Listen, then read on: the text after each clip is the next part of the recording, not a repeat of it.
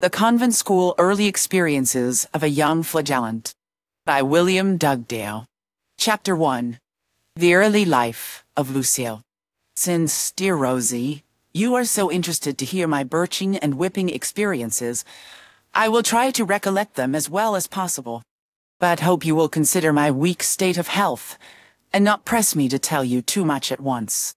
Perhaps you do not know that almost from my infancy it was arranged that I should marry the Earl of Ellington, who was about twelve years my senior, being a family compact of a purely mercenary character, designed to consolidate some very doubtful title deeds, which now that our union has proved unfruitful, are likely to entail great expense and annoyance to our heirs-at-law.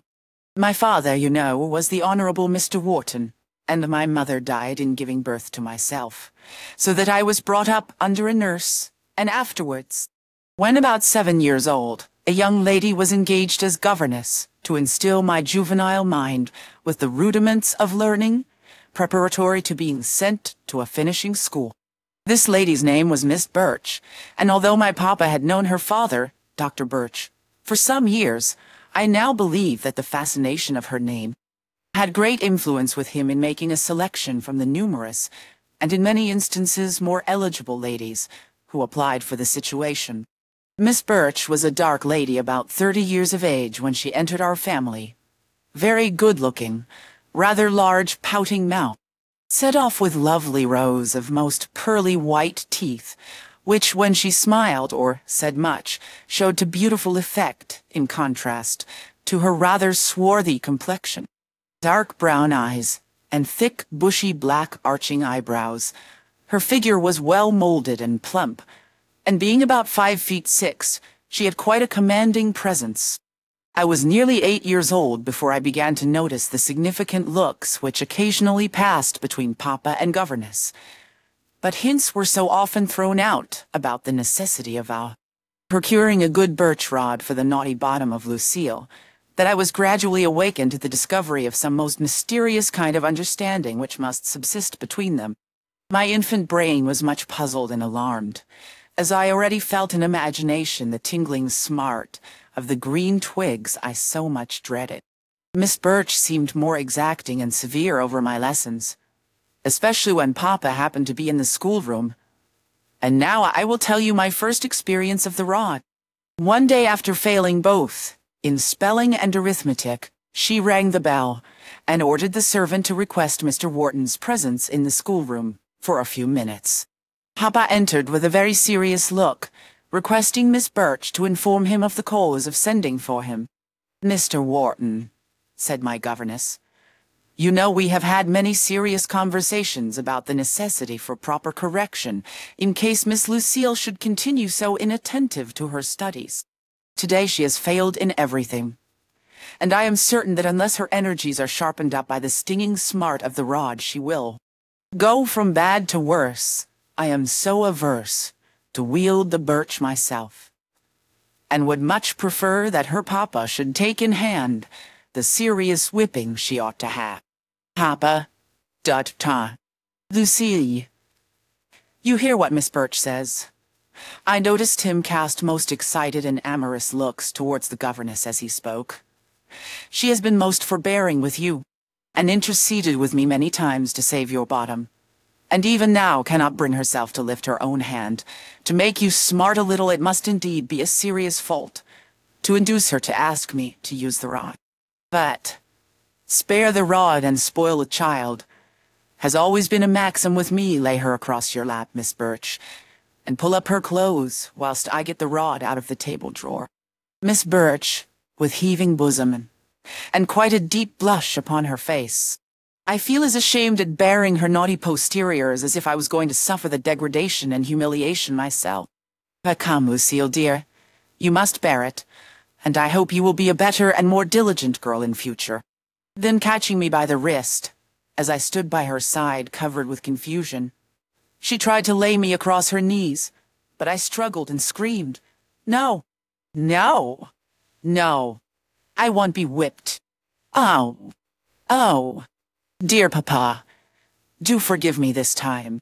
My face quite crimson and streaming with tears. Papa, having got out the rod, a fine switch of long, thin birch twigs, tied up with velvet and silk ribbons at the handle. Come, come, Lucille. This resistance will only make it worse for you. As he seized and threw me on the governess lap, Miss Birch, securing my head well under her left arm, speedily pulled up dress and skirts, till my fat little bottom was exposed in a tight, fitting pair of drawers, my legs being left to kick about, although I was quite firmly secured, and to all intents quite helpless, and my toes could scarcely touch the ground. I could hear Papa whisking the birch about, and then he said, That will do famously, Miss Birch. Keep her head and shoulders well down. As you hold up her skirts, much as I pity my darling little Lucille, I must do my duty and make her smart for her idleness in school. My face was burning hot with the deep blushes of shame, and I struggled desperately to free my head from the vice-like pressure of Miss Birch's arm as I begged with piteous sobs to be let off for this once. Oh, dear Papa. Ow! Pray don't beat me. Papa. Indeed, I must. Though every blow will send a pang to my own heart, you naughty, bad, inattentive girl.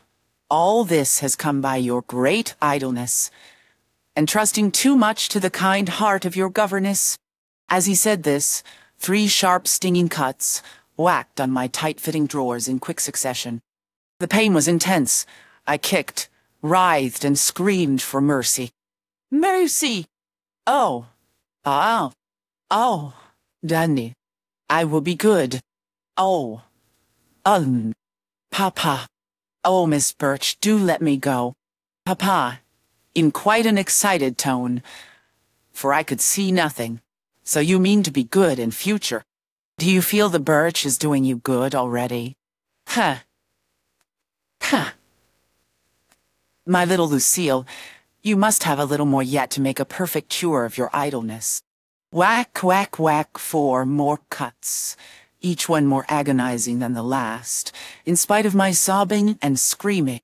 Now, Miss Birch, he continued, let her feel it on the bare flesh, Open her drawers so we can see the effects of the cuts. This was at once done as I cried, Ah! Ah! No! No! Oh, Papa! How cruel! Papa! Don't! What a sight! The rod has made her bottom blush finely. It's best to make her feel sore a few days, or she will soon forget it and relapse into her old ways. The drawers were unbuttoned, and I could feel they were quite pulled down my thighs, exposing the entire surface of my smarting rump. But I had only a few moments for reflection before the blows fell, again in rapid succession, cutting, tearing, and scratching the skin, whilst the boiling blood in my veins seemed to throb as if it must spurt through the pores at every burning touch of the rod. My head was pressed against the tumultuously heaving bosom of my governess, and notwithstanding the intensity of my suffering, I could plainly hear the beating of her heart and knew that her thighs were tightly compressed together, whilst a strange tremor pervaded her entire frame. There, there, that will do, said Papa, in a very excited tone. I've drawn the blood for her. Now, Miss Dunce, kneel and kiss the rod, and ask your kind governess to forgive you. I slipped down on my knees, and hiding my face in my hands in her lap, promised Miss Birch, if she would forgive me now, to be a better girl in future. That will do. I don't want to be too hard upon Lucille this time. We will leave her to think over her disgrace and shame. And let her beware of the birch again, said Papa, taking Miss Birch's hand, to lead her from the room. This has been a most agitating scene for your governess who must repose in her private room for a while to recover herself. The schoolroom door, which opened directly into her private room, was closed upon me, and the key turned in the lock. But all my hurts and bruises were insufficient to distract my attention from the peculiarly warm and excited glances which passed from Papa towards my governess, whose face was suffused with blushes, and her eyes turned down, as if afraid to meet his ardent looks as they passed from the room. My curiosity was excited so much that I listened at the keyhole. Papa was evidently remaining in the governess room. I could hear a rustling of her dress. As if some little struggle was taking place, a sound of smothered kisses and soft expostulatory, such as, I dare not. Oh, no, no, no, not now. Pray leave me. Oh, leave, oh. Then an, an almost perfect quiet, except for a slight rustling sound, and now and then, broken sighs with heavy breathing.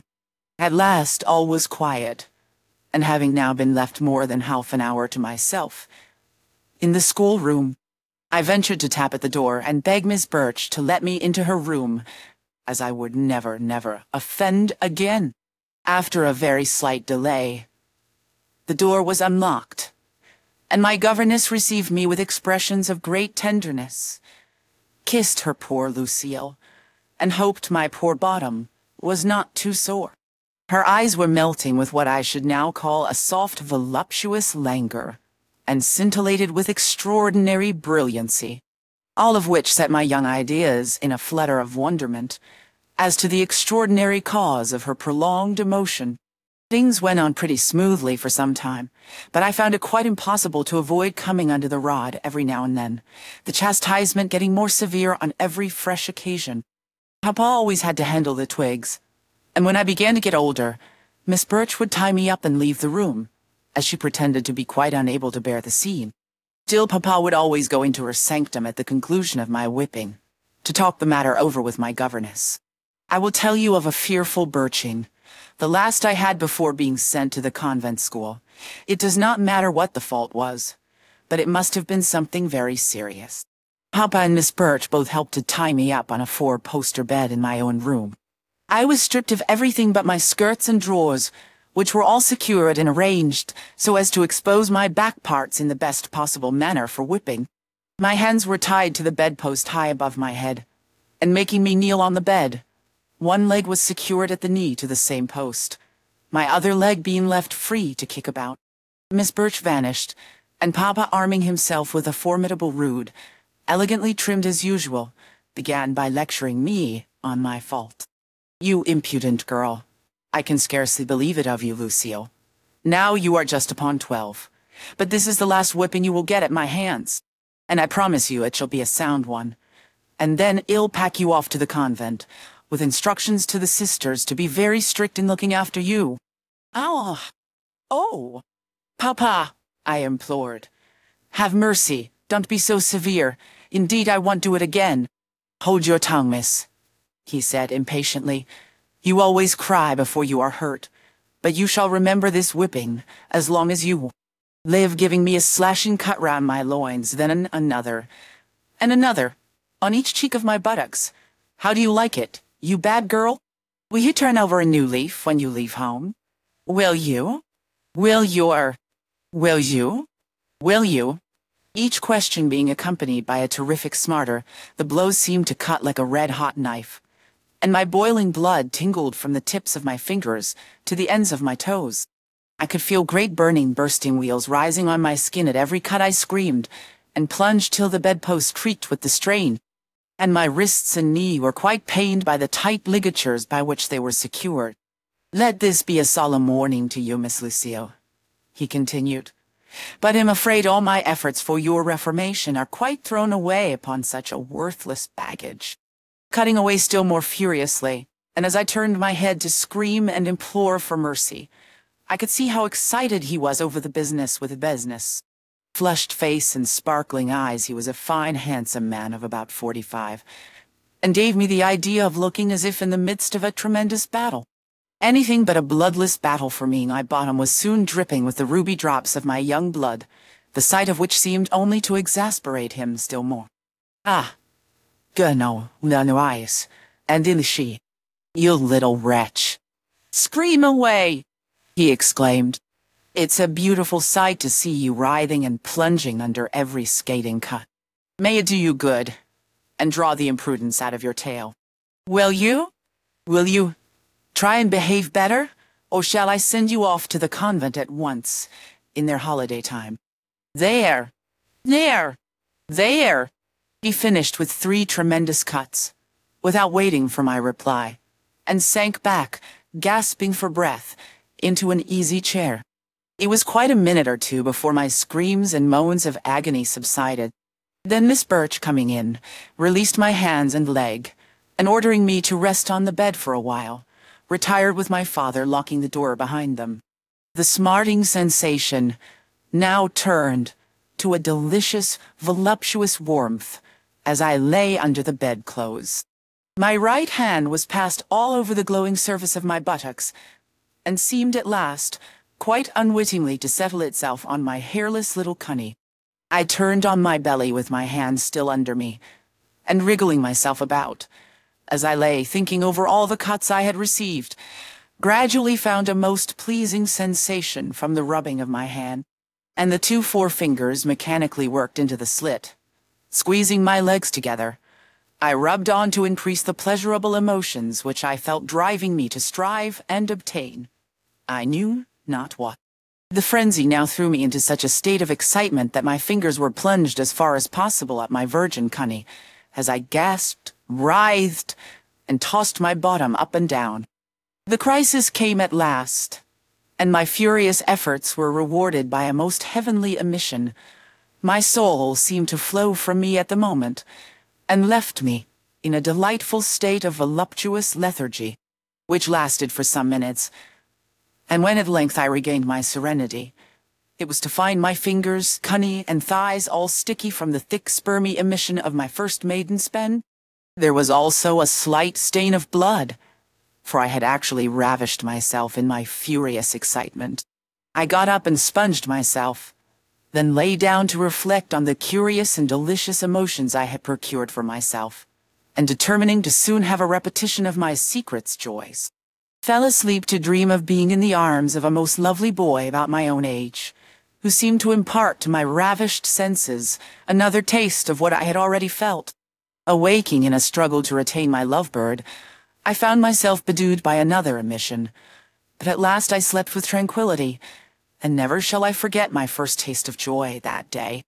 Chapter 2 The Convent School My father's extreme severity made me rather glad when in about a week's time, Miss Birch began to make preparations for my departure to Belgium, and in less than three weeks I found myself installed as a pupil in the seminary of the Ursuline nuns at Brussels. The Lady Superior struck me from the very first as being a frightfully severe woman the morning after my arrival.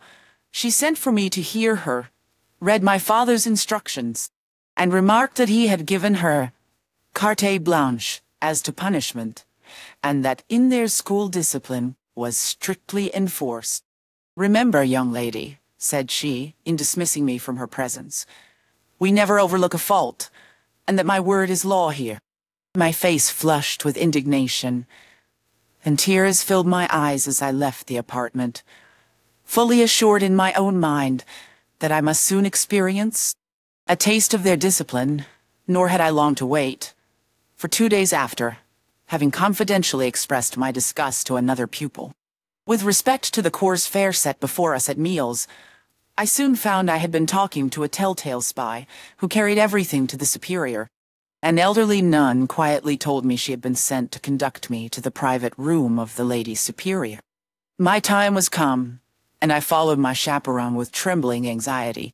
Our superior was a stern-looking woman of about forty-five, with dark piercing eyes and Roman nose, thin compressed lips considerably adding to the severity of her expression.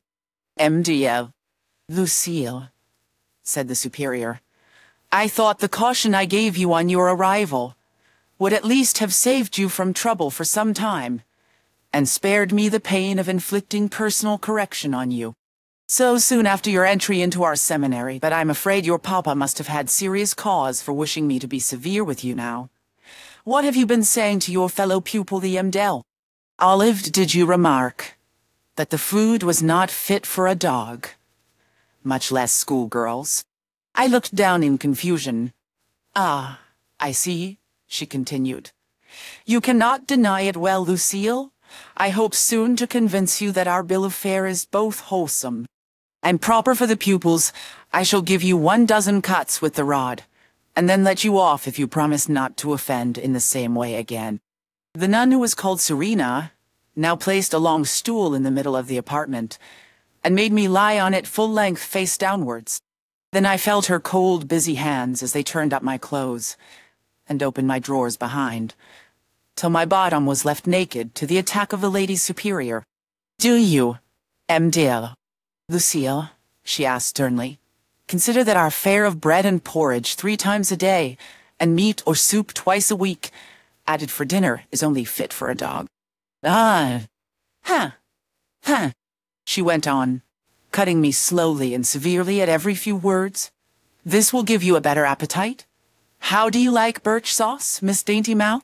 I screamed with the pain and plunged about so that Sister Serena had to hold me down with all her weight upon my shoulders.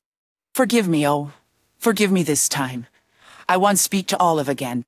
I gasped out as the heavy woman almost stopped my breath. But at last it was over, and after kissing the rod and making me look at the thought, blood-stained wheels on my bottom. They sent me away with a caution how I spoke about that, or anything else I might see done in the convent. I longed to have my revenge on the deceitful Olive, but knew not where to turn for a confidant. They all perhaps would be equally treacherous. I stuck to my lessons and avoided punishment as much as possible, being assured that the longer I brooded on my revenge, the more complete it would be in the end.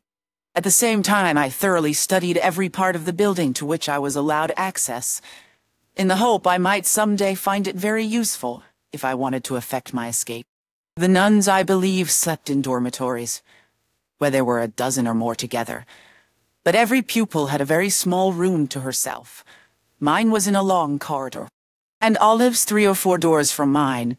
There were neither locks or bolts to any door as the lady superior and elder sisters were supposed to take frequent peeps. At us in our sleep, I had at last matured my plan.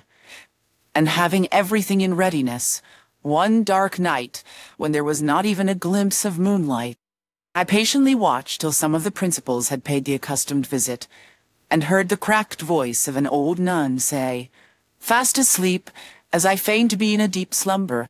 Soon their footsteps died away in the corridor, and after waiting some time, till I felt sure every pupil must be again asleep, if the going round should have awakened them. I crept out of bed, and providing myself with some pins and a strong piece of cord, was soon at the bedside of the treacherous girl I wanted to serve out my first act was to quietly pass my cord around her, outside the small bed, so that I could suddenly draw it tight, and secure her a helpless victim in my power then suddenly stuffing the bedclothes into her mouth before she could scream out, ordered her in a rough whisper to keep quiet, or I would kill her. It was too dark to see her terrified face. But she shuddered all over, and seemed as if her very blood was chilled. So cold did she seem to my touch. Taking advantage of her fright, hands and feet were instantly tied, so that she was spread out in a helpless fashion. I made her own handkerchief which I happened to get hold of, into a gag, and at the same time could feel the drops of cold sweat upon her temples. Now I turned up the bedclothes or pushed them off, as I was tying the cord, till she was quite naked from the bosom downwards. My hands roved over the soft, firm, naked flesh of her belly, then to the mount of love, which I found just beginning to be fledged with silky down. My fingers sought the crack below, and I could not help amusing myself by frigging her with all my might, the two first fingers of my right, hand ruthlessly pushing into her cunny, and I knew caused her intense pain from the slight groans which the gag could not entirely suppress. What pleasure it was to me to torture her by my roughness, and outrage her every sense of modesty, although I was too ignorant at the time to know that my fingers were actually taking the poor girl's virginity, a kind of fury possessed me, and I actually bit the lips of her cunny, and munched off as much of the silky down as I could. By the way, the pain must have been intense, and her writhing, shuddering agony was so much bliss to me. At last, to finish her off, I got a piece of the cord, and passing it right along her crack, tied it round her thighs, and waist as tightly and painfully as possible, and then for ornament stuck a lot of pins in the plum cheeks of her bottom, and left them there. My revenge was complete. So wiping my fingers on the bedclothes for fear of any bloodstains, see, I left my victim just as she was, to be tormented by her horrible pains and fears, till someone might find it out, and release her in the morning. This outrage was never discovered. My victim was found insensible next morning, and remained in a delirious state for three or four weeks before. She recovered consciousness, and then the agony and terror she had endured on that awful night had so turned her brain that she believed it was was. The devil who had so grossly illused her. But I heard that one of the father confessors was strongly suspected of having committed the atrocity. The superior, with whom Olive had been a favorite, now vented her spite in every direction amongst the young lady pupils of the seminary, and I, for one soon, fell under her displeasure, and was ordered to be tied up to their whipping post. It was only for slightly oversleeping myself, and not dressing quickly when the bell rang for us to get up at 6 a.m. I was suspended by my wrists being tied high up the post as I stood upon a small footstool. Then it was suddenly kicked away, the jerk of the sudden strain on my wrists almost making the straps cut into the flesh. My feet were dangling some inches from the ground, Oh. Oh. Ara. I screamed. How cruel. Oh. Papa. Papa. If you only knew how they are treating me in this awful place. Lady Superior, who seemed delighted at the sight of my pain, hold your foolish noise, Emda. Lucia. Wait till you have something to scream about, girl. Then the old Serena, who it seemed was always in attendance at punishment time, pinned up my skirts, and opened my drawers behind. And the superior went on. This rod shall make all the sluggards turn out quicker in the morning. What do you think, mademoiselle? Of making us all wake prayers for ten minutes? Will you wake, wake, wake up sharper in future? She gave me three smarting cuts at each word, and my suspended position added so much to the intensity of my pain that I screamed, kicked, and plunged about as I swung by my wrists from the post.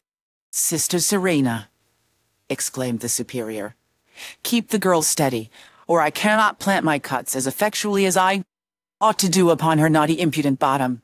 She shan't sleep for a week if I can only make it sore enough. Serena now held me to the post with one hand, to prevent my swaying about, whilst the rod rained a succession of withering, scorching cuts on my buttocks, and just underneath the parting of the cheeks of my bottom. My screams were heartrending, but they only seemed to enjoy it more, and the superior never ended her objurgations till the rod was worn out. Things now went on till I was nearly fourteen. We never had a holiday, and only short letters came to me from home, in which my father constantly expressed his hopes of my improvement, and seemed quite oblivious to all I had written from time to time about my severe treatment, and begging him to remove me to some other school I afterwards found out that my home letters were regularly suppressed, and others more suitable were written and sent to Papa, in thy name. What wretch that superior now appears in my eyes. She not only delighted in whipping us nearly to death, but forget letters to our parents so as to keep her pupils, and make everything appear couleur de rose. Perhaps, dear Rosa, you have heard that I managed to escape from that dreadful convent. But previous to that, they nearly killed me. I was getting quite a big girl. My p already sported its silken down on the Mons Veneris, which we all consider such an ornament to our secret charms. The superior had lately taken much notice of me, and introduced me to a clique of her favorites, three or four pretty girls about my own age who were often indulged with little treats in her private room there. We girls were encouraged and instructed in all kinds of lascivious ideas we looked at each other's cunnies, tickled and kissed each other in every possible way, the superior encouraging us, and suggesting a variety of attitudes for us to try. She had a huge godemiche, about nine inches long and very thick, which she would fit upon one of the girls, and then submit herself to be as hard as possible, whilst the other girls had to turn up the girl's skirts and smack her bottom hard and fast, with the palms of their hands to make the young gentleman, as the superior called her partner, work fast and vigorously. Then she would have us all stripped naked, whilst we had in turn to kiss and suck her when it was all slimy with her spendings. I did not mind the slapping, or allowing anyone to kiss and tongue my cunny, but the superior's was so hairy, and had such meaty-looking lips, and a huge clitoris, which I now know is induced by long-continued self-abuse, and it smelt so fishy that I absolutely declined the honor of gamahooching her, and nothing could induce me to do so. This so enraged her that she flew at me like a tigress. I was knocked down and beaten with a thick stick till my flesh was bruised all over, and then picked up, almost fainting, and hurried off to my own little room. Perhaps nothing further would have happened, but in my innocence, I supposed my letters were sent home just as I sealed them up. So I wrote to Miss Birch a full account of what I had been seduced into, and the dreadful beating I had received, for not liking the cut of the Lady Superior. The very next day after I thought the letter was gone, the old nun, Serena, fetched me into a dull, gloomy room, which I had never been in before, but at once rightly judged to be a punishment chamber. When I saw a high whipping post, made of a square beam, set upright in the floor, with two rings near the top on each side, by which to tie up the victim a birch rod was hanging on the wall, and two scourges with long things lay upon a seat at one end, but I had no time for further observation, as the superior seemed to follow us into the room, almost immediately. Now, MDL. Lucille, she exclaimed, grinding her teeth in rage, you shall rue the insult you put upon me the other day, before my special favorites, of which I had minded to make you one, so that when you left the seminary you might look back with pleasure to the loving amusements I had first introduced you to perhaps I should have overlooked it all. But see, I have your letter. Huh. Huh. You little fool to think that would ever go out of the convent. Sister Serena had by this time put me on a stool, and was fastening my wrists one on each side of the post. And presently the stool was removed, and I found myself just touching the floor with the tips of my toes. What a beautiful position! How she will twist about and scream when she feels the scourge. Make haste to bare her bottom, as I am burning to pay her out. Ah! Ah! MDL. Lucille. I fancy you wouldn't mind kissing my c now if I promised to let you off, said the superior spitefully. My courage and natural obstinacy came to my assistance at the moment. I was so indignant, and the idea was so repulsive to me, that I resolved rather to die than do that for her. I was frightened and yet flushed with shame and indignation at my treatment. Besides, something seemed to advise me to irritate my tormentor to do her worst, and get it over quickly. No. No. No, never. You may kill me, and then I should be out of my misery, I exclaimed. She scowled with ferocity, but said with all the calmness she could command, Make haste, Serena. Up with her clothes, and open the drawers well, and keep her as steady as possible. Then taking up the instrument of punishment I could see it consisted of five or six long thongs of whipcord, plaited and knotted at the ends, fixed on a very elastic handle. It was poised in her hand for a moment, and then brought down with stinging force on my exposed buttocks. Then again, and again, and again, in quick succession each cut seemed to sear the flesh as if done by a red-hot iron. My piercing screams filled the whole place, and the superior, her eyes sparkling with ferocious joy, jeered me about how I liked the scourge. How lovely you look, MDL. Lucille, as you plunge and scream. And I know the intense agony of every cut would you rather die now, my little dear. Well, I've a good mind to kill you. Outright. Only I want to keep you as long as that dear kind papa of yours is willing to pay. How he must have loved his Lucille. To place her with me am so kind. So very kind, you know. My dear girl. What do you think of my kindness, you little love? Her cuts were awful, and I swayed and plunged, so that it was impossible for Serena to keep my body steady. So she seized the other scourge, and tried her best to second the superior in her efforts to cut me up more and more. At last they fairly panted for breath, as I was left dangling, sobbing and moaning, with my clothes torn, my drawers in shreds, and streaming with blood all down my thighs and leg. Fearing I might faint, they poured a little strong cordial down my parched throat, sponged my face with cold water, and put some strong snuff up my nose, which almost drove me into convulsions. So very violent was the fit of sneezing produced.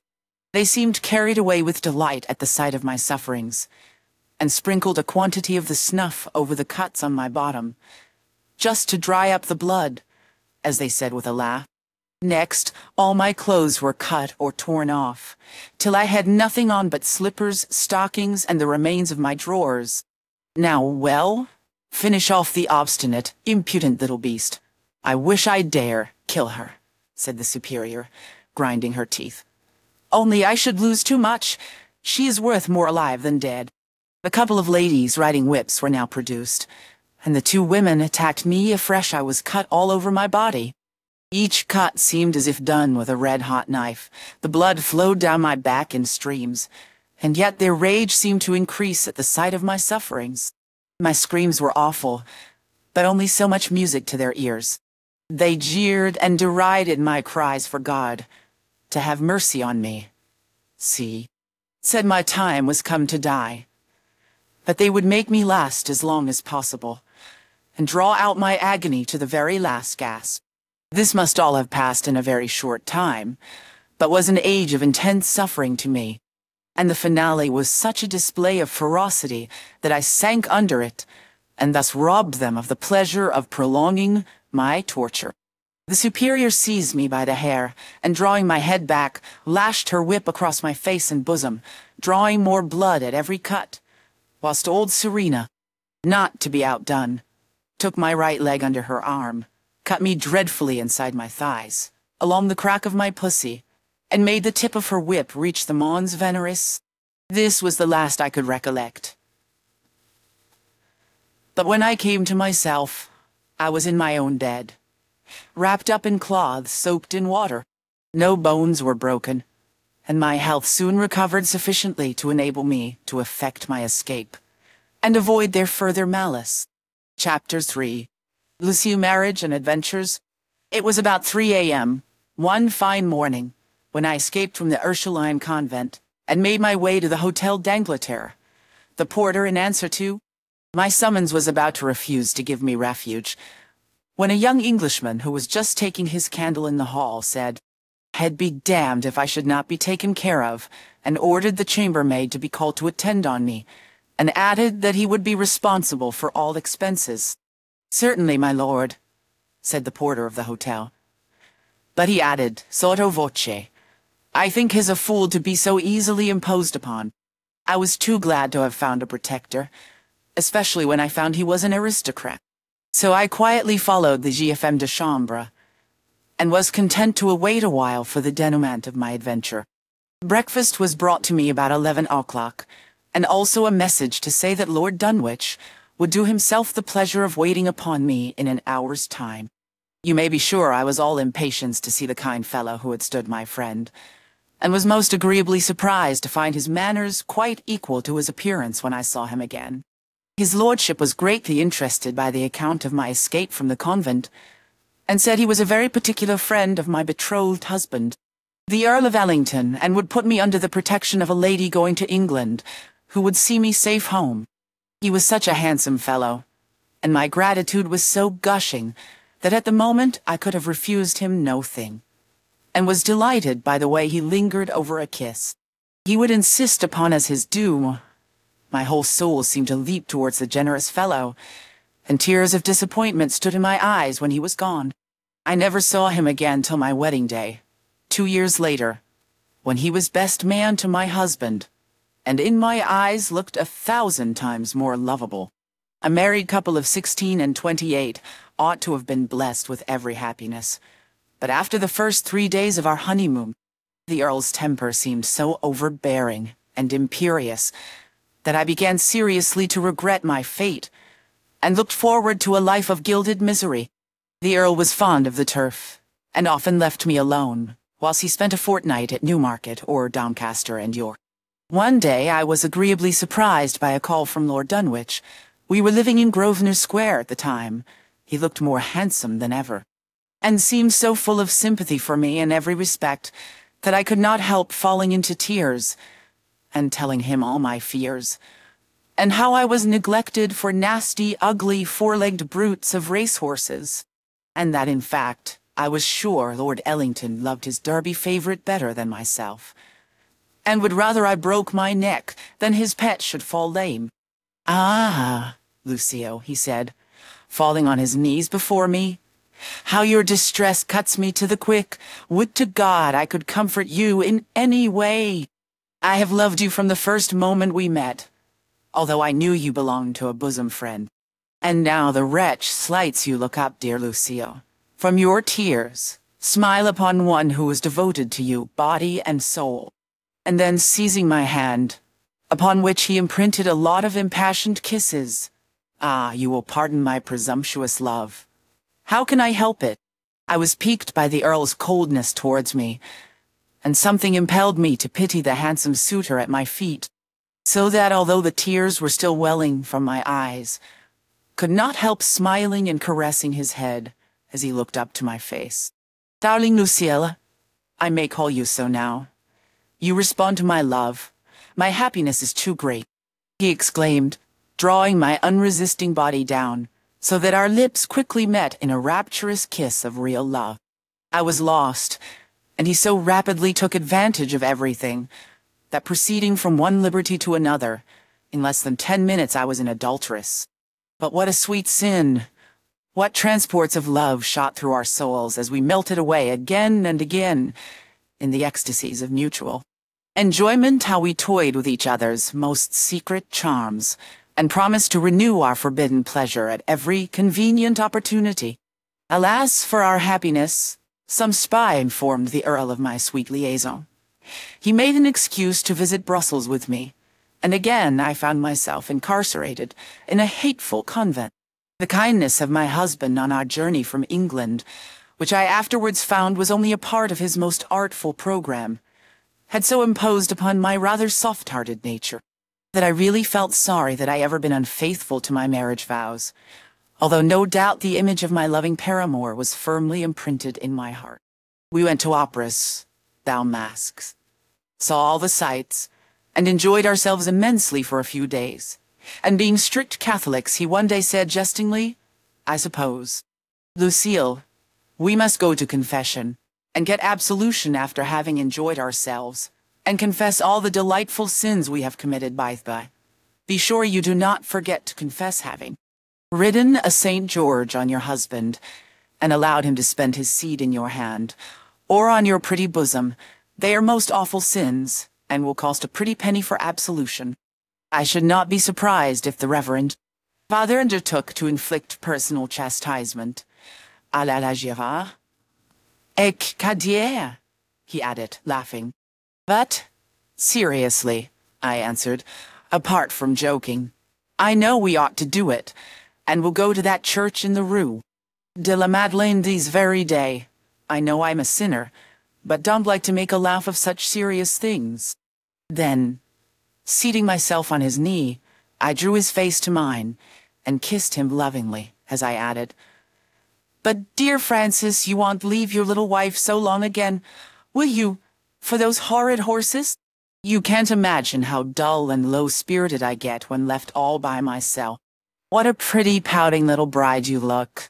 Why, Lucille, the way you kiss excites me as if we were still on the honeymoon trip, but dearest, he added, a sporting man must see his horses tried and run. Then you know I shall make up in the winter what you lose in the summer. There's nothing else to do then but to make love. Ah, you sweet little devil. Do you want to commit another sin before confession? My hand had been gently caressing his prick outside his breeches, till it was now rampant and impatient of the restraining claw. Well, he went on, following my example, by passing a hand up my clothes and gently tickling my with his forefinger. Well, lump it all together, so there won't be any more to pay. My stars, Lucille, how excitable you are. You're spending on my fingers. It's nothing to blush about. Little simpleton. I got off his lap and kneeling before him, unbuttoned his flap, and the engine of love seemed to leap into my hand. Its fiery head, with the skin turned back, looked so tempting that I could not resist the temptation to kiss and caress it for a few moments. My tongue played lasciviously round the tender and excitable surface, whilst my hands were fondling his finely developed balls.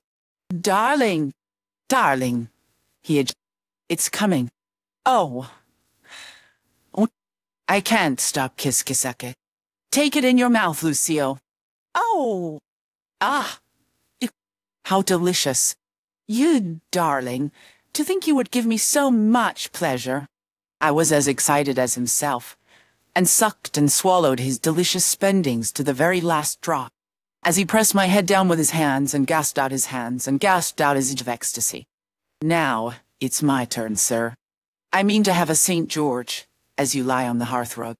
Come, down with you at once, or I will bite it off, making him feel my teeth, as I playfully took it again in my mouth. We had a delightful bout on the hearthrug, and I rode him till he spent into my excited a third time, keeping his stiff, and starting him again after each spend by the contractions of the folds of my vagina, which he declared gave him the most exquisite and voluptuous sensations, and that he had never experienced anything to equal it in his life. Many women as he had had in his time. Presently I told him that as soon as I could get dressed I would go to confession. Do, love, he replied. And if the confessor is reasonable with you, I will go myself tomorrow, or send for him to wait on me at the hotel. I left him smoking a cigar, and about an hour and a half afterwards entered the church, where I was immediately accosted by an elderly priest. If the English lady wishes to confess, the Father Francisco in yonder box is most suitable for Madame. He knows the English ways so well, and was consecrated in England. I approached the box, which was in a very secluded corner of the sacred building, and kneeling on a hassock inquired in a low voice, if the Reverend Father Francisco was ready to hear my confession. Yes, my daughter, and I pray God you may have nothing but venial sins to confess, was the reply of my unseen confessor. In my innocence, I related every act of our married life, how excited we were in our love games, and the various attitudes we used to heighten our enjoyment. Awfully sensual, my daughter. Your confessor previous to marriage must have admonished you as to the use of these unnatural postures in following the dictates of nature in your endeavors to obey the first commandment. To increase and multiply. The holy rites of matrimony ought not to be perverted by lascivious ideas and filthy sacrifices to lust. It is a most serious thing, my daughter.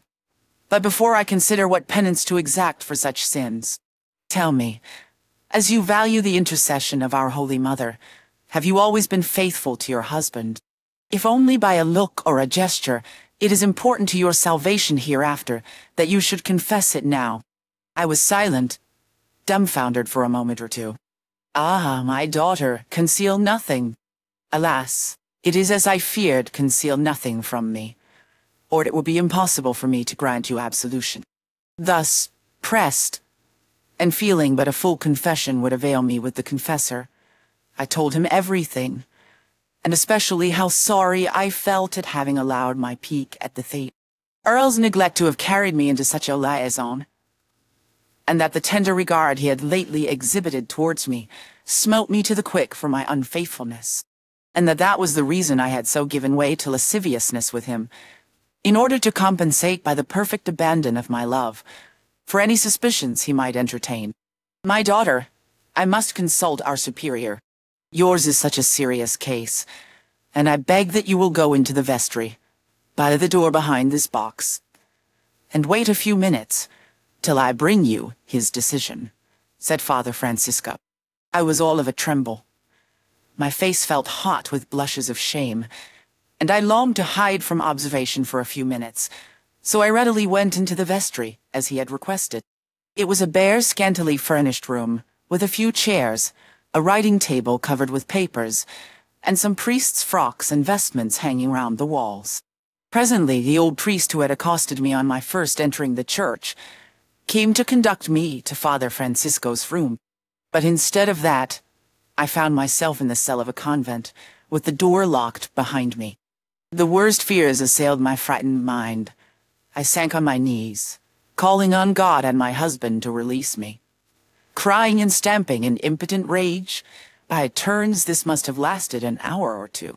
Then a little wicket was opened in the door, and the same old priest told me to calm myself, for Father Francisco and the superior were praying to the Holy Mother to direct them what penance to impose upon such a sinner, and that I must remain where I was till next day, when, he added, no doubt you will be restored to your loving husband, as pure in mind and spirit as when you first took your marriage vows. I was going to implore him to allay the Earl's anxiety on my behalf, but he assured me they had sent to his lordship to say that I was doing penance for some hours in their convent, and quickly closed the guichet, so that I was again left alone. Chapter 4d The Penance Two nuns supplied me with refreshment, made me up a bed on the floor, and I really had nothing to complain of as to treatment that first night. Still, something seemed to assure me that I really was a prisoner, and should not so easily get out of the convent. My hope was that the Earl would speedily insist upon my speedy release, little dreaming at the moment that he was the instigator of my detention and had actually acted as confessor in the assumed name of Father Francisco. My anxiety was greatly increased the next day, when hour after hour passed, and still no communication from the confessor or superior. The nuns who brought me in breakfast and dinner were silent to all my inquiries or offers of bribes if they would help me get out of the place.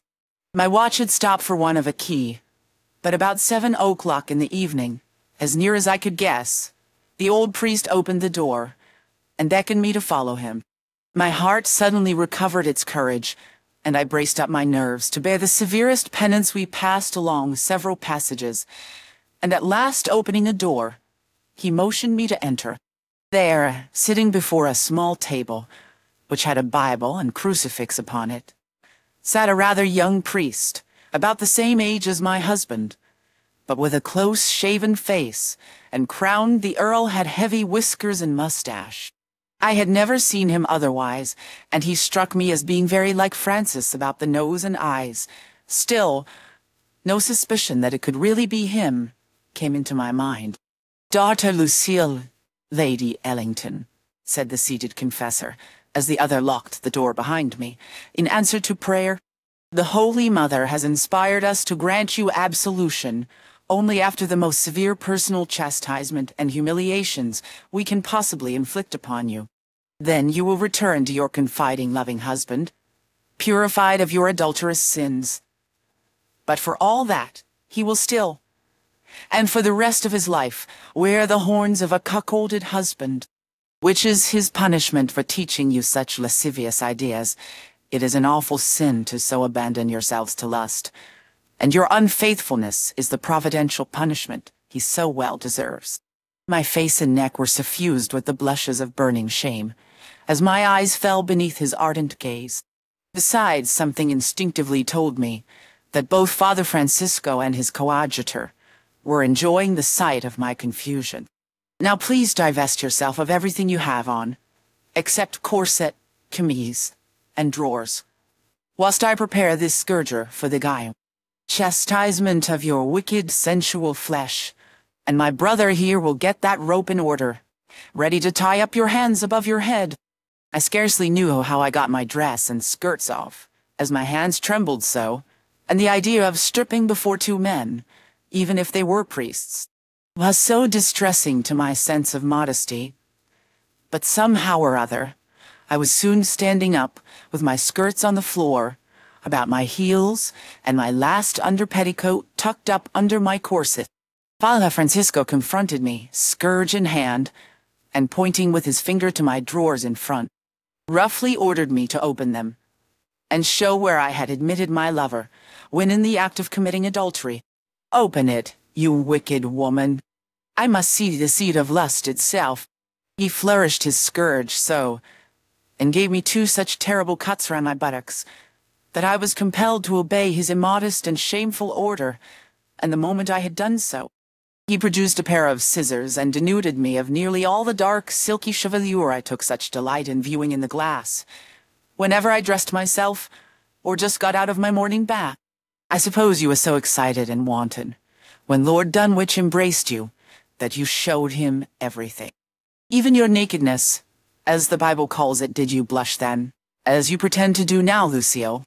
He asked. My surprise and indignation almost choked me, so that I was unable to speak, and he gave me a heavy slap, with his hands on my bottom, saying, So you will not answer, and think I am behaving shamefully, do you? It's nothing to what you will have to submit to presently. Lady Ellington, turn round and open your legs and stoop forward this instant, or I will flog the very life out of you.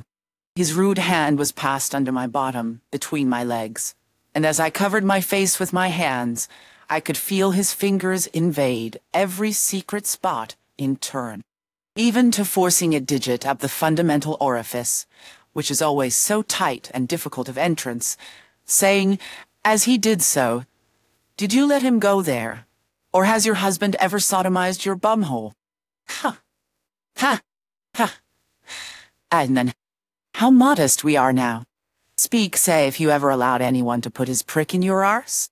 I cannot recollect all he said or questioned me about, but his words and actions were every moment more and more coarse and obscene on purpose to add to my humiliation. Here, Father Anthony, he continued, addressing the old priest, where is your Godemiche? That's the thing to draw all the wantonness out of her lustful body.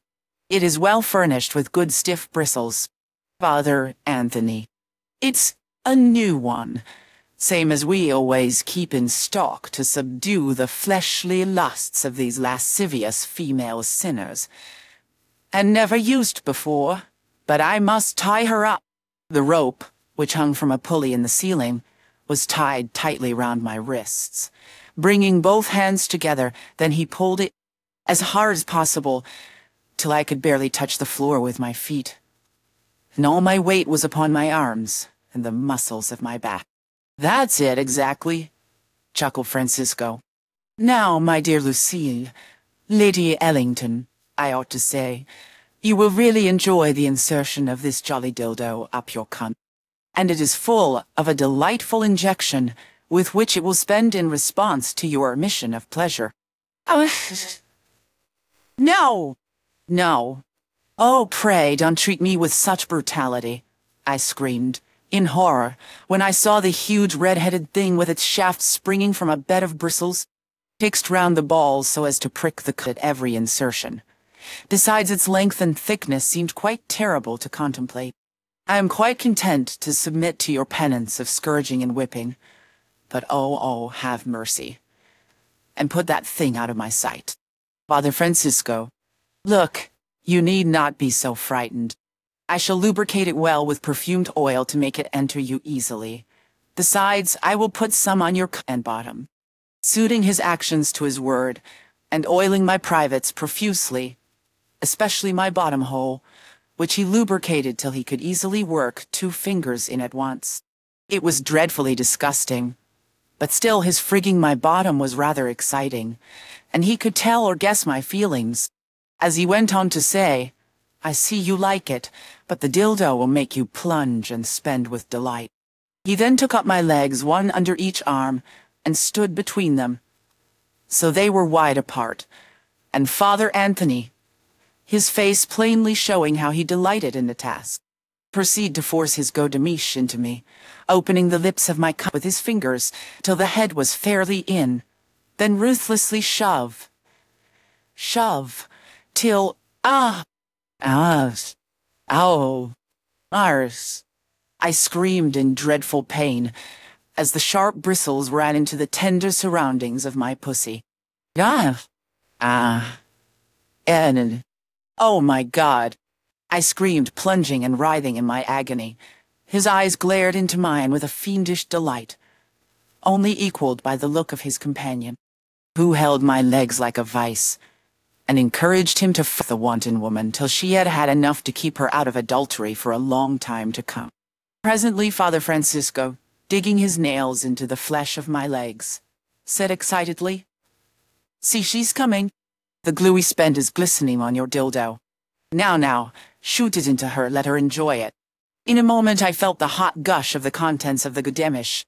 It rather relieved me for a moment or two. But oh, oh my dear, even after this long lapse of time, I can never forget the agony of that moment. The whole of my body seemed filled with liquid fire, for they had filled the dildo with some infernal decoction on purpose to ruin my health and destroy all chance of my ever enjoying the sweets of love again. Such I know was their intent, for they taunted me with it at the time. But although I never quite recovered from the shock to my system, and feel even now that it was the original cause of my premature decay, they did not succeed in depriving me of all sensual desire or feelings for the future. I fainted but they never let me down. And when at last I began to recover consciousness, Father Francisco was using his scourge most unmercifully on my buttocks, the drawers being open, and the naked flesh exposed to every cut. I thought this would bring her round, exclaimed he. See, Father Anthony, her eyes are opening. It will soon make her forget the dildo She did enjoy that. Did she not, Anthony? but shall be a long time before she has such pleasure again. Huh? Ha! Ha! And how lovely she's getting. See her wriggle from the pain of every cut. Ah, Lucille. Dear Lady Ellington, what intense delight the sight of your agony is to us. By this time either he was tired, or he thought a little respite would enable me to bear more presently. So dropping the scourge on the floor, he left me still suspended, whilst himself and assistants sat down and gloated over the sight of my suspended figure and blood-stained bottom, with their hands under their frocks, and I verily believe now they were frigging themselves. After about ten minutes, Father Francisco again approached, scourge in hand, whilst the elder priest gave me a few drops of cordial and held some pungent salts under my nose to refresh me a little. That will do, said the former. Stand back, Father Anthony. Now, now, you wicked wanton, lustful young woman. Did you wish your husband dead when having connection with Lord Dunwich? Why don't you answer? Were his parts more pleasing to your sensuality? Is he better furnished than your husband? Speak up, confess all your wickedness. Did no sense of shame shock you in the midst of your enjoyment with that fellow, eh? Every question brought a scathing cut with it, breaking the weals and drawing fresh blood at every stroke. But I really was so ashamed, I knew not how to answer, and my tongue was useless, except for moans or cries of pain. And notwithstanding all their degrading and cruel treatment, I felt it was fully deserved by me. Won't you speak? Won't you confess your sorrow for your sin? He continued. Are you really so lost to all sense of shame as to be hardened against repentance? This must be whipped. Yes, whipped out of you, even if it nearly costs your life. Just then, Father Anthony loosed the rope a little, so that I could shrink further from the blows of the scourge till I was driven up to the wall, where I stood on tiptoe with awe, my hands drawn up over my head, and my back bending as much as possible to avoid the terrible shower of blows with which he was cutting up my buttocks still more and more, crimson with shame, tears flowing in torrents from my starting eyes. I moaned, cried, and implored for mercy, protesting in a broken voice that ever since my husband had renewed his kindness to me, I had been very, very sad and ashamed of myself for what I had done and only his former neglect had caused me to throw myself into the arms of a handsome man to whom I was under great obligations for protecting me when I escaped from the Ursuline convent. Ha! Then you are that Lucille who insulted Lady Superior. I heard all about it at the time. He went on furiously. Now you shall be punished for that too, seizing my left leg and lifting it up, so that he could cut freely under my thighs. On my sore cunny, and every tenderest spot he could think of, whilst old Father Anthony was rubbing his hands in delight at the sight. My agony was so intense that I could only gasp and sigh. Strength I had none. He seemed beside himself with rage, but at last dropped his scourge, and throwing open his frock in front, I could feel his rampant pego thrusting towards my mount, and am sure he spent on my drawers outside before he could get into me. This he soon effected, and taking my buttocks up in his strong embrace. He furiously, swaying me about with my arms still tied up by the rope. But I forgot all that. His motions within me took away all feeling of pain, and I believe much as I loathed him, and felt humiliated by all his dreadful treatment, that I actually spent copiously when I felt his hot sperm shooting into and soothing my overheated cunt. He was so overcome that Father Anthony, seeing he was about to fall, released me or loosened the rope so that we sank down together on the floor, and laid almost motionless for a few minutes till the old priest, taking up a scourge, began to whip us both unmercifully, and made Francisco get up. This was the end for that time, but I was ordered to prepare for a final penance in a day or two's time. Chapter 5 Jen The last scene in Denawamo. They kept me in the same chamber, where I had been so outraged, the two nuns nursing, bathing my bruises, and using soothing injections to allay the inflammations of my privates. Till, on the third day, they said I was so far recovered that my confessors might finish the prescribed penance adding, with a malicious smile, We saw everything last time, and so we shall now, through our peepholes how delicious the sight was last time. And we had such frigging and dildo fuss after it was all over. Having said this, they speedily disappeared, and I was left to await my fate in trembling anxiety. I was hot and cold by turns, as the recollection of all the humiliating and painful incidents of the other day came back so vividly to my mind, and in imagination I seemed to suffer all my tortures over again. This did not last long, although you may be sure it seemed long enough to me in my state of apprehension. A key was turned in the lock, and the door creaked on its hinges. My persecuting confessors again stood before me in reality, with quite a sardonic expression of anticipated pleasure. On their faces no trace of pity could I find on either visage. Nothing but gloating sensuality seemed to animate the ardent looks with which they regarded me for some moments.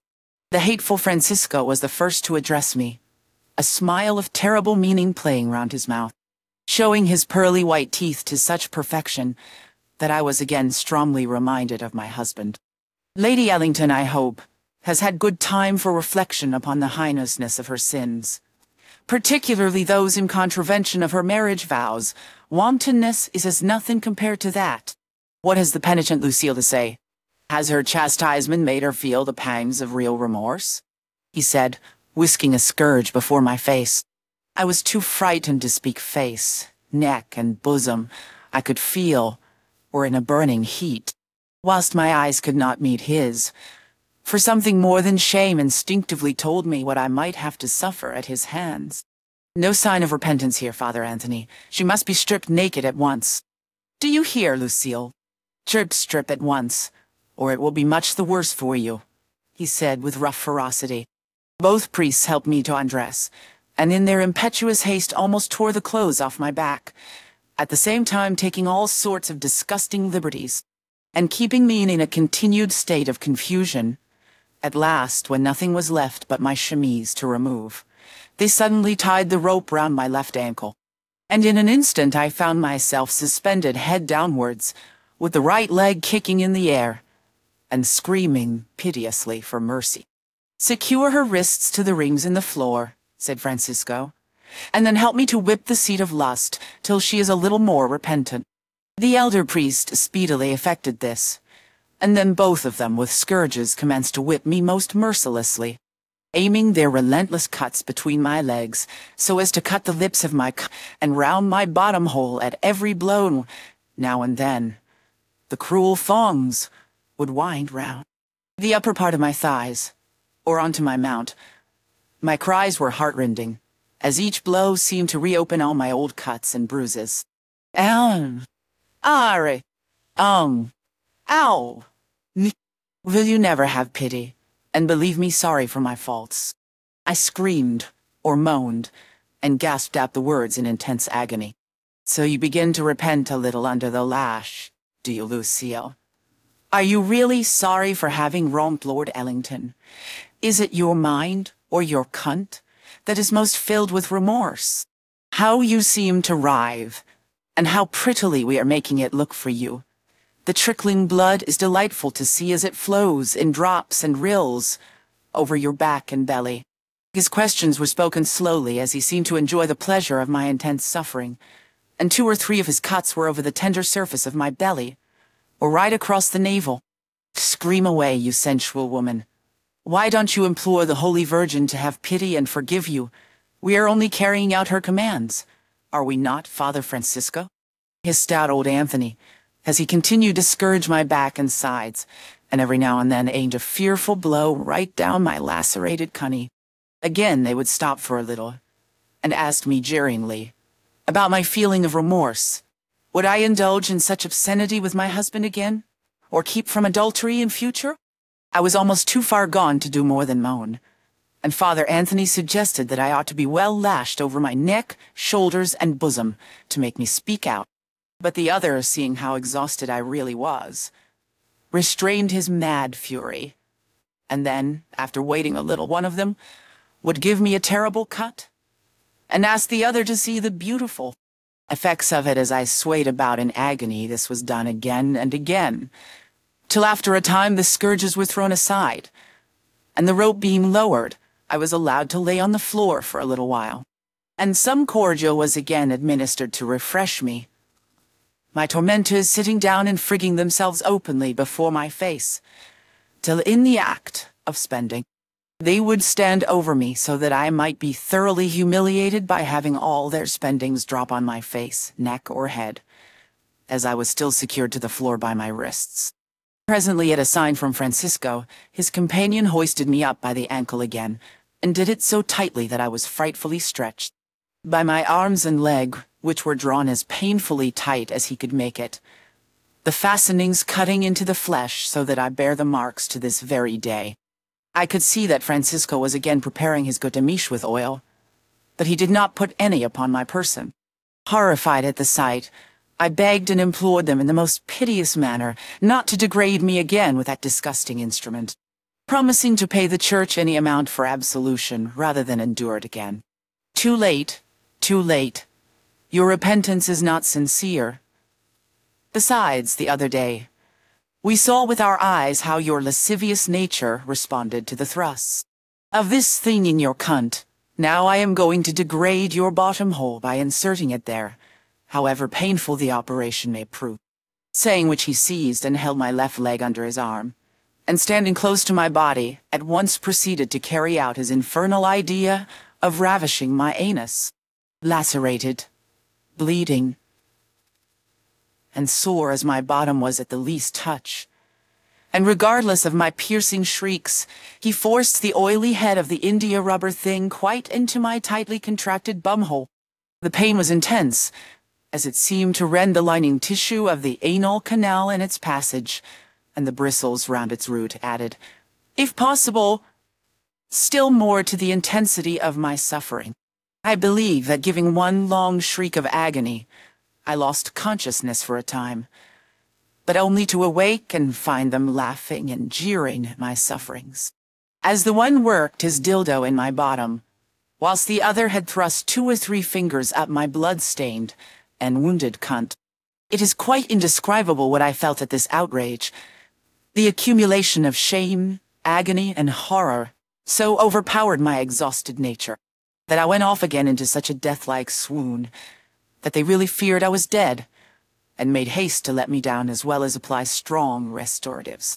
My hands were still retained in the reams on the floor, and the godemiche was left sticking in my bottom, the spasmodic contractions of the sphincter muscle holding it as in a vice, whilst the pulsations of the violated passage behind were still awfully painful. All this was apparent to me as I slowly came to myself once more and could see the excited looks of my cruel confessors, who proceeded to sprinkle me with cold water, and use a large sponge for the purpose of both refreshing me, and allowing them to gloat over the extent of my hurt. This lasted a little while. Then I was made to get up on my hands and knees, facing Francisco, who then opened his frock, so as to show me the excited state of his prick.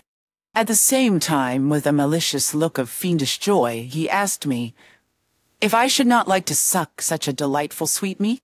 Then seeing my look of intense disgust, he burst into a rage, saying, Oh, so you mean to insult me, as you did the Lady Superior of the Ursulines, do you, Lucio?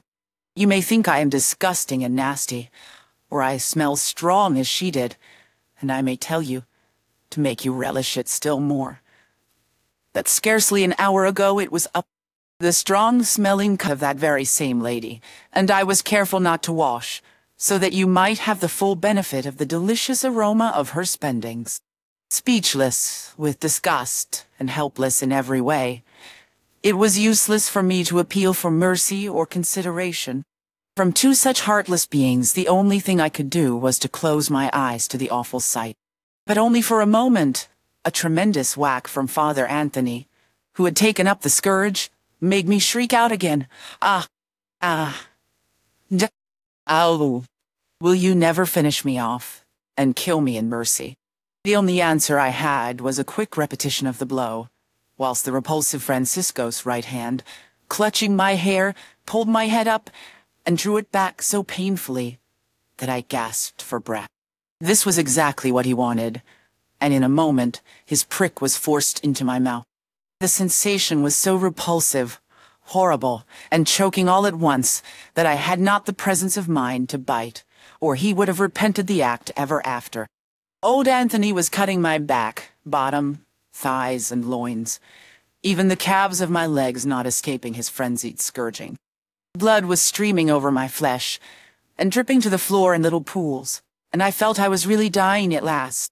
Just then the excited Francisco shot a deluge of hot sperm into my mouth, and throat I was choked, and remember no more, except that on recovering consciousness, the supposed confessor, Francisco, was dressed as a gentleman, and I immediately recognized him as my husband, as at the same instant, he exclaimed, Woman, my revenge is complete. You want to deceive me again, how I have reveled in degrading, humiliating, and torturing my adulterous wife. You'll never see me more. This has been my way of divorcing myself from a faithless bitch. He was gone before I could find words to reply. But my sense of pain was instantly drowned in a deep desire for vengeance for this outrage, and its impulse so strengthened me that I was soon well enough to travel. My lover, Lord Dunwich, received me with open arms, and declared he would shoot or be shot by the Earl ere forty-eight hours had. Elapsed at once dispatching a friend with his cartel to arrange a meeting for the next morning in Hyde Park, at the dawn of day. We spent the night together at his hotel, although scarcely fourteen days since I was so fearfully outraged. How we fought all night, and swam in sensual pleasures for hours. I would deny him nothing. Was he not my champion? Who was going to risk his life in the morning to avenge my fearful wrongs, and to make him still more earnest in his desire for vengeance. I stripped naked, let him examine every part, where the marks of the bruises and lacerations were still visible. My he sucked, kissed, and fucked till I was beside myself with excitement, and he was also ready for anything. Then my poor bumhole attracted his attention.